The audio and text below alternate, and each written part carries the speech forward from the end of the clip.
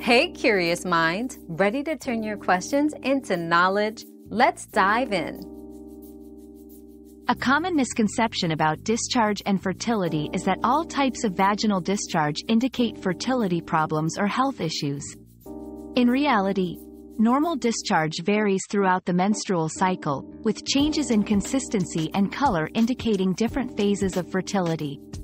For example, clear, stretchy discharge often signifies ovulation, and is a natural, healthy sign of fertility.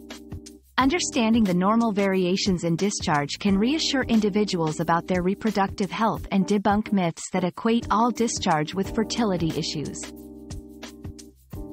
Our quest for knowledge never ends. Thanks for being part of today's discovery.